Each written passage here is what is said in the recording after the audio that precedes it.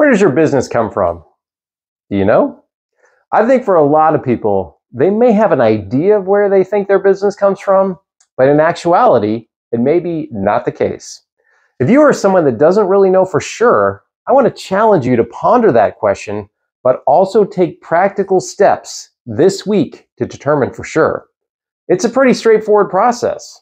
Take your last 30 to 50 transactions, put them on a list, now we need to figure out where each one of those came from. Your categories obviously will be different than mine, but here is how I break my categories down. My primary source of business is not surprisingly from real estate agents. This can be from a long-term partner that I've worked with for 15 years or someone I just started working out working with. Next is a PCR, which stands for past client referral. This is someone I was recommended to by a past client for either a purchase or a refinance. After that, we have past clients, which again are any past clients that have purchased or refinanced. And my last category is advertisement. In my case, this is everything from somebody that found me through listening to the podcast to an internet lead.